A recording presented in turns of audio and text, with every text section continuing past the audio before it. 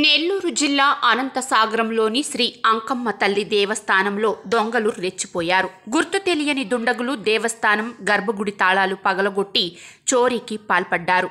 దుండగుడు గర్భగుడిలోని అమ్మవారి బంగారం వెండి ఆభరణాలతో సహా హుండీలోని నగదును కూడా ఎత్తుకెళ్ళారు. దేవస్థానంలో ఉదయం పూజ చేసేందుకు పూజారి వెళ్ళడంతో ఆలయ తాళాలు గర్భగుడిలోని బీరువా తాళాలు పగలగొట్టి ఉండడం అమ్మవారి బంగారు వెండి నగలు కనిపించకపోవడంతో చోరీ జరిగిందని గుర్తించి దేవస్థాన పూజారి పోలీసులకు ఫిర్యాదు చేశారు. పోలీసులు కేసు నమోదు చేసి దర్యాప్తు చేస్తున్నారు.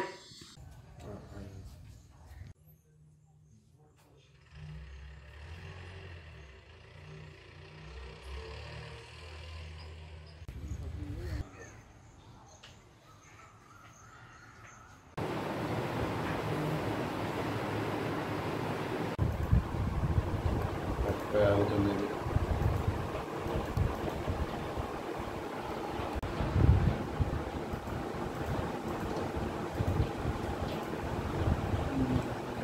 వచ్చాను సార్. నేను చెడుకి బయట గేట్ దగ్గర చూస్తానే తలాల బగలు వేసినారు గుళ్ళో దొంగతనం ఆతతో కూడా చూశాను.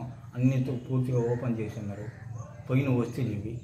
పోయిన వస్తువులు తెలిసి చెప్పమంటావు? మళ్ళీ ఏం వస్తాను వెండి కిరీటము రెండు ముక్కు పడకలు తాలుబొట్టు మెడలో తాలుబొట్టు ఆ నుంచి కనుసగులు పెట్టుకుంటే వెండి ఆ, వెండి కనుబొమ్మలు తగిలించేది వెండి రెండు నాలుగు.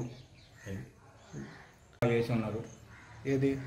అమ్మవారి ఉండి వచ్చేసి గుడి వెనకాల వేసి ఉన్నారు ఆడికి కూడా నేను పోలేదు పాలు కుట్టడం లేదని అనుకోలేను అది విషయం.